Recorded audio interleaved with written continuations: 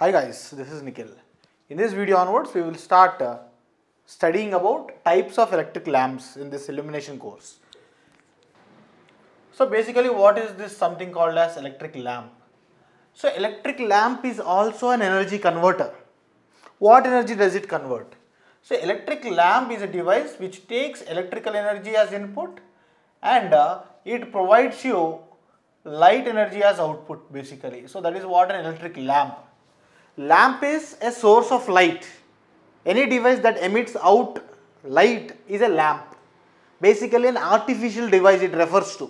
Okay. Lamp is an artificial source of light. And if that artificial source of light is working based on taking input as electrical energy, then it is an electric lamp. I hope you got the point. So now in this uh, sessions onwards, we are going to study about different types of electric lamps. As you can see here on the board, I have given you the different types of electric lamps. Basically this classification which you are seeing over here on the board, you cannot find in any textbook because see that is where many students are having problem especially in this utilization or illumination topic that is there is no one proper or standard source to study in a sequenced or an organized manner. Alright, now we will get into the subject. So, there are basically I can say there are three types of classifications of the types of electric lamps. Electric lamps are primarily classified in three ways. So, the first classification is arc lamps. That means the source of light in this particular lamp is through the generation of an electric arc. Okay. And uh, second one is incandescent lamp. Incandescent lamp is a lamp which works on a principle called as incandescence. Uh, I mean, talking briefly about what is incandescence means, let us take there is a resistor over here. Okay. Resistor is there having some resistance R. Through this resistor, what I am doing is I am supplying some current I. What I am doing? I am flowing a current I through this resistor. When current flows through the resistor, what resistor will do? Will convert the electrical energy into heat energy and resistor starts heating up. Isn't it? So what is that amount of heat? I square R into T.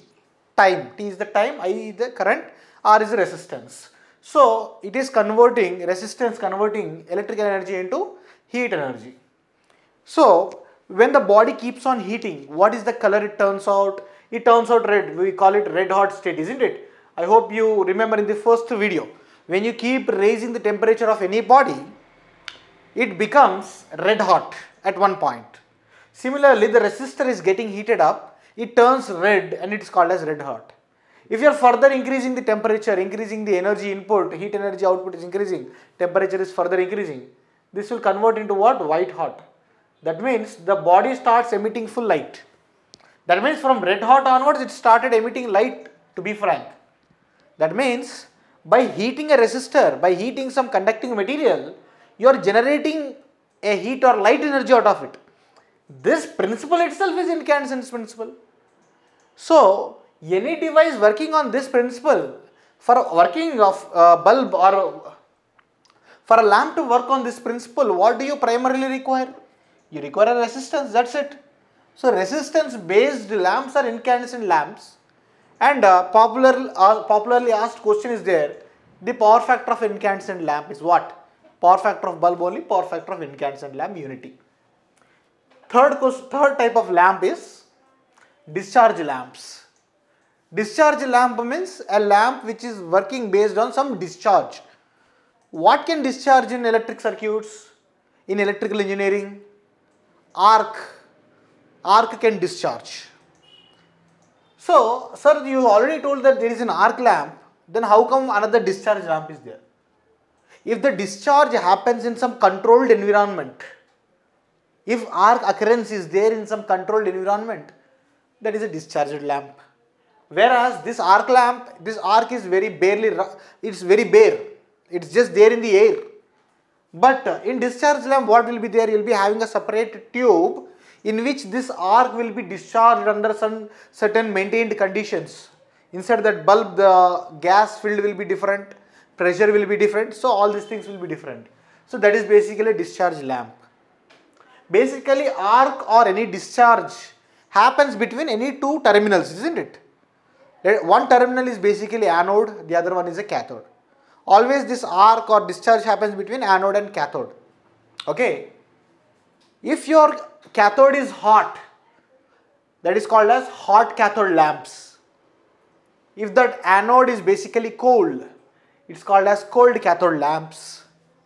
One very popular question and popular example for cold cathode lamp is neon lamps. This is a very very frequently asked question in competitive exams regarding illumination. Example for cold cathode lamp or which of the following is a cold cathode? Neon lamp is a cold cathode lamp.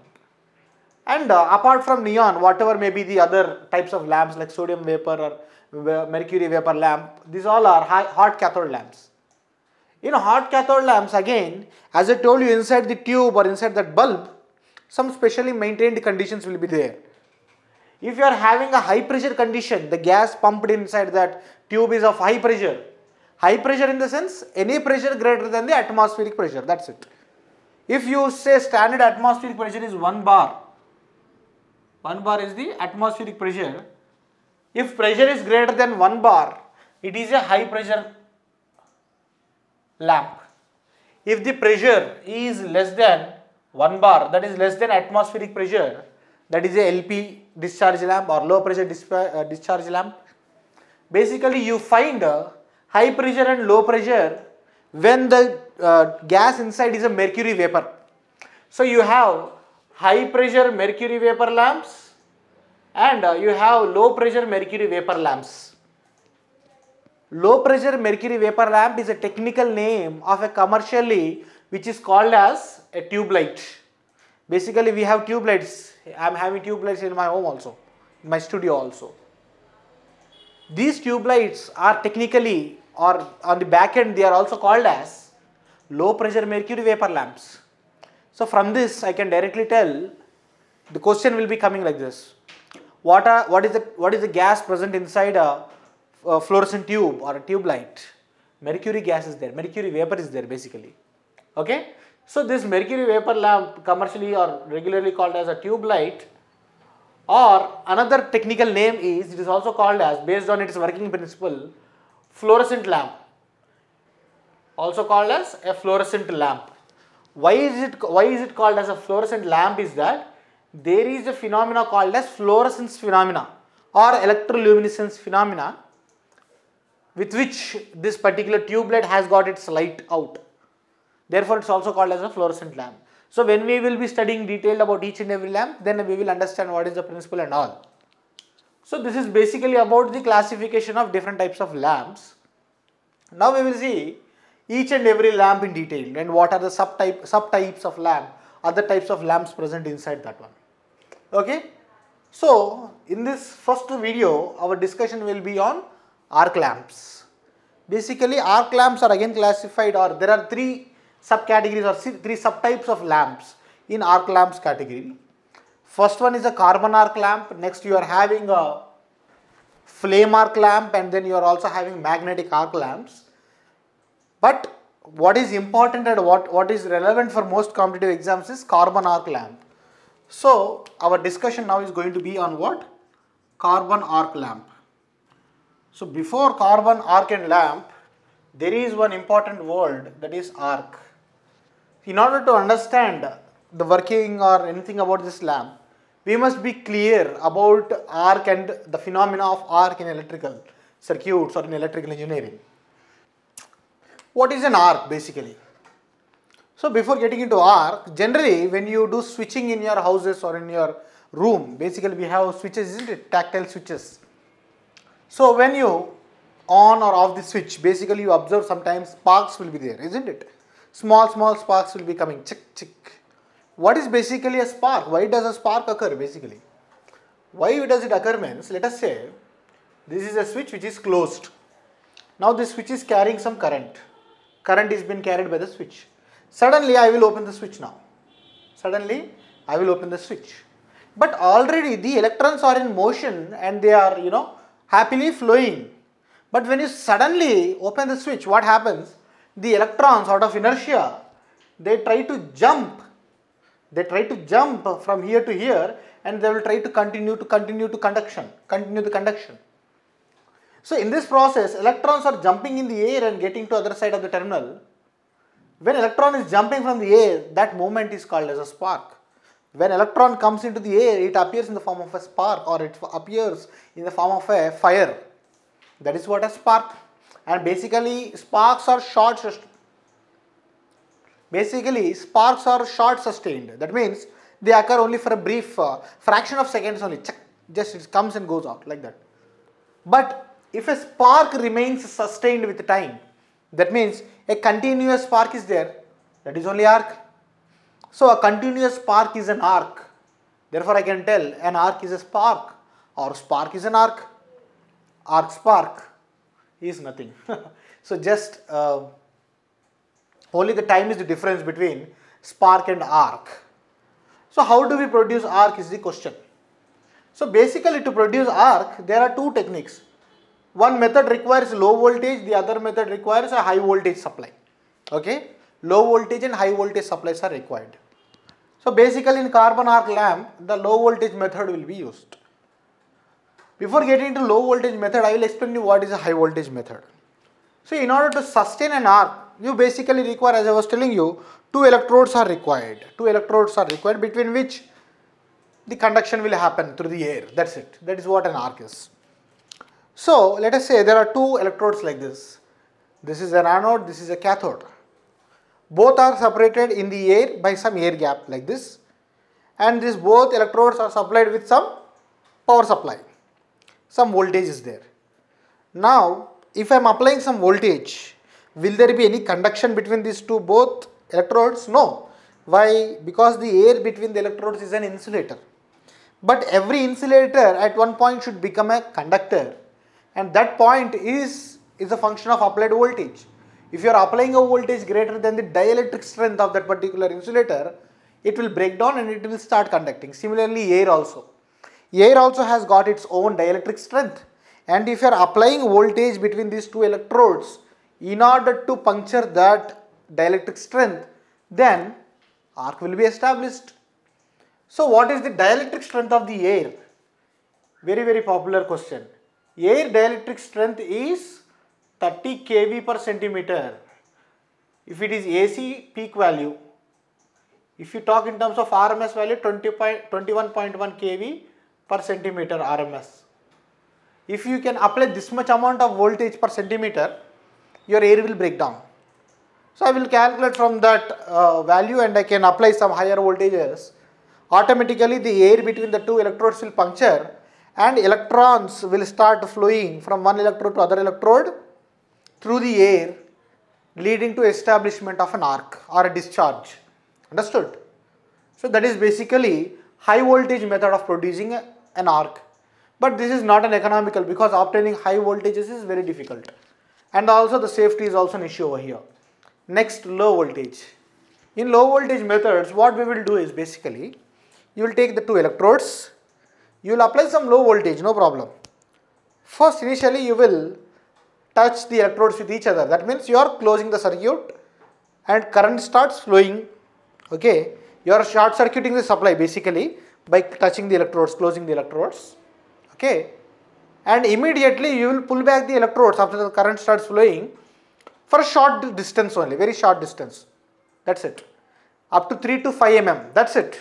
You will just touch them and pull back 3 to 5 mm, that's it. That means a half a centimeter. Then uh, immediately an arc is established between them.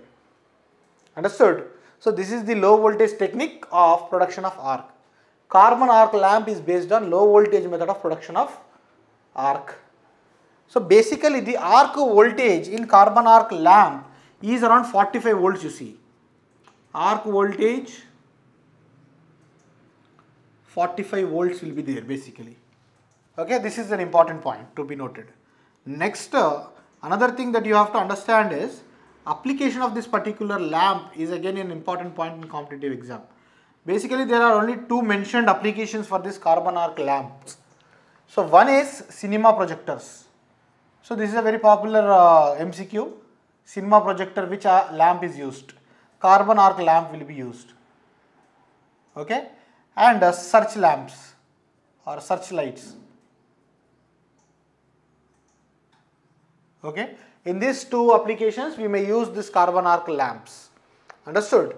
So, when arc is flowing through the air, that arc is like a bright fire, therefore you will be getting the light. Now, another thing that we have to understand regarding production of arc.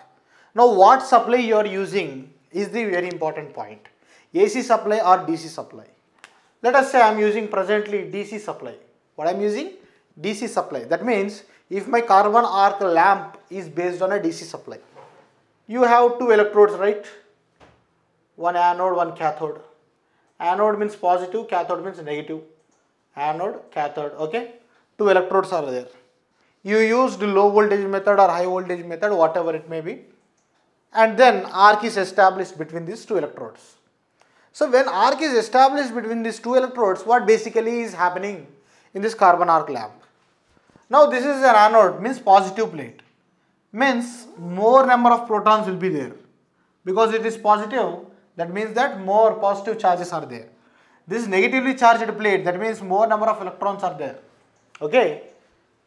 So when arc initiates through the arc electrons from the negative plate get attracted towards the positive plate and positively charged protons will attract towards the negative plates.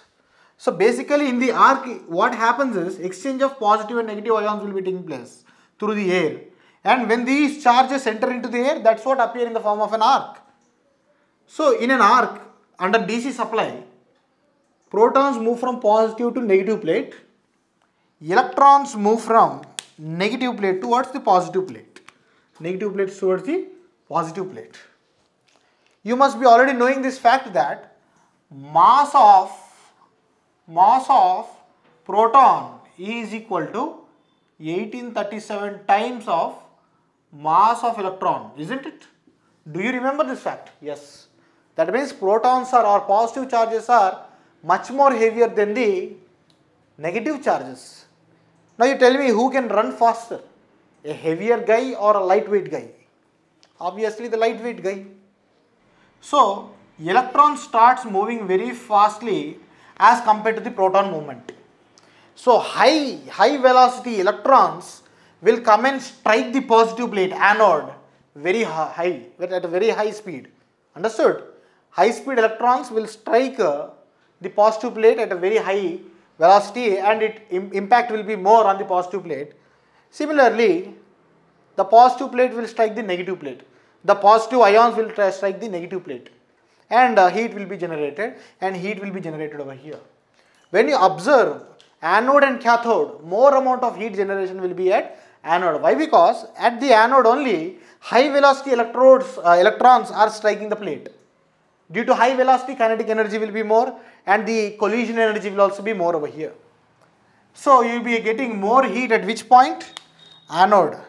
So when arc is formed in arc lamp or anywhere arc is formed, from DC supply, always the positive plate or anode will be more hot, will be more hot as compared to negative plate. Negative plate will be relatively cooler as compared to the positive plate.